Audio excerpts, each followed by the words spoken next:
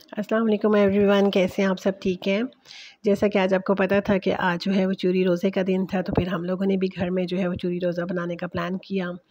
सबसे पहले हम लोगों ने क्या किया? मोटा आटा लिया, ठीक है? उसको जो हम गंदम पिसवा लेते हैं मोटी मोटी करके, ठीक है? उसको हम लोगों ने थोड़ा सा घी और सौंफ डाल के, थोड़ा से पानी के साथ उसको गूंद के, उसकी इस तरह से रोटियाँ बना ली। चार रोटियाँ हम लोगों ने बनाई क्योंकि हमें इतना ही चाहिए था। फिर हम लोगों ने इसको जो है वो तवे के ऊपर हम लोगों ने इसको सेकना है, ठीक है? मतलब बहुत ज़्यादा आपने इसको जो है वो पका नहीं देना, जस्ट आप तवे के ऊपर नॉन स्टिक वाले के ऊपर या दूसरा तवा जो भी आपके घर में अवेलेबल हो, आपने इसको अच्छे से सेक लेना है।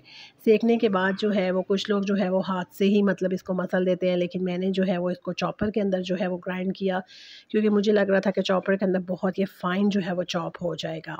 और ये देखें ना फ़ाइन चॉप हम लोगों ने जो है वो चार जो सी रोटी हमने सेकी थी, हमने उसको अच्छे से जो है वो चॉपर के अंदर फ़ाइन सा चॉप कर लिया ताकि सारी रोटियाँ जो है वो इस फॉर्म में आ जाएँगी। उसके बाद एक कढ़ाई में जो है आप लोगों ने क्या करना है, आप लोगों ने तेल डालें या घी डालें, देसी घी डालें, ये आपकी अपनी मर्ज़ी है, ठीक है? हम लोगों ने इसके अंदर घी डाला, उसको अच्छे से जो है वो जिस टाइम वो गर्म हो गया और जो ग्राइंड की हुई जो रोटियाँ थी हमने उसके अंदर डाल दी। उसको अच्छे से हम लोगों ने भून लिया जिस टाइम घी छोड़ दिया रोटियों ने, और ये देखें कितना अच्छे से जो है ना जिस टाइम ये बिल्कुल स्मूथ से फॉर्म में आ गया तो हमने इसको चूल्हे से नीचे उतार लेना है, ठीक है? आपने चूल्हे पे रख के आपने इसके अंदर शक्कर ऐड नहीं करनी, और शक्कर को आप काइंडली स्टेन कर लीजिएगा, ताकि मोटी मोटी जो है वो मुँह में आए, वो मज़े की नहीं लगती। हम लोगों ने इसको चूल्हे से उतार के शक्कर हम लोगों ने इसके जिस टाइम वो थोड़े से ठंडा हो गया, शक्कर ऐड की और हम लोगों ने ऊपर से बादाम ऐड कर दिए।